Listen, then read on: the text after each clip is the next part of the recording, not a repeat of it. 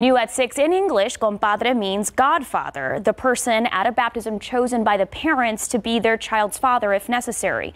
To reduce the risk of child abuse, the Children's Shelter has a new program called Compadres y Compadres, a 12 week program open to any dad in Bexar County. Jesse Degollado talks to three graduates who went on to get further training as mentors for other fathers.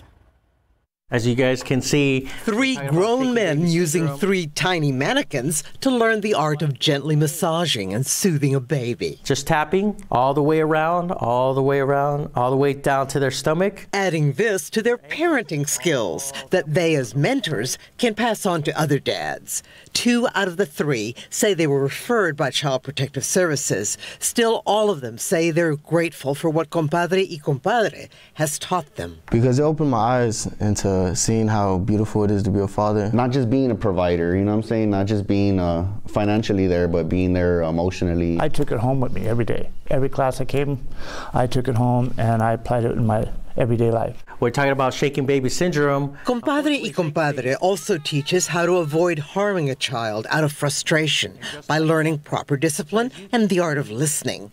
Now 21, David Solano was just 17 when he first became a father. You know, you get a little scared, you know what I mean?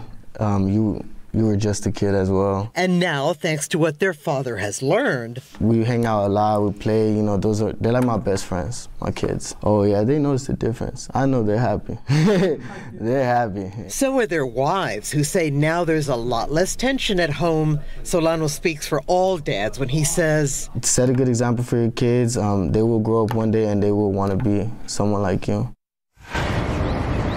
San Antonio's Compadre y Compadre program at the Children's Shelter could become a statewide model. Its director will be testifying tomorrow in Austin before a Senate sub, before a Senate committee considering a statewide task force on father engagement. The idea is to promote awareness that fathers indeed are certainly more than half of the equation, especially when it comes to preventing child abuse.